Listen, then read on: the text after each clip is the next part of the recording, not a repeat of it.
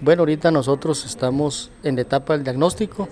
Hemos estado haciendo un recorrido por, por los seccionales que tenemos, en los que tenemos representación y hemos estado platicando con la gente. Es un trabajo de acercamiento en la primera, en la primera fase y de, y de saber cuál es el estado que tiene la estructura. Ya estamos trabajando con ellos.